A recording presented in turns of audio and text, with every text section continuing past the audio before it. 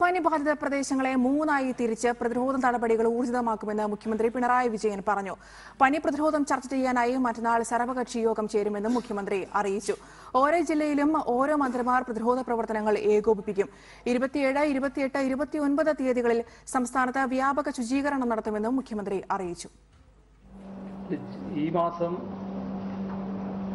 ഇരുപത്തേഴ് ഇരുപത്തെട്ട് ഇരുപത്തൊൻപത് തീയതികളിൽ മൂന്ന് ദിവസം എല്ലാ പ്രദേശങ്ങളിലും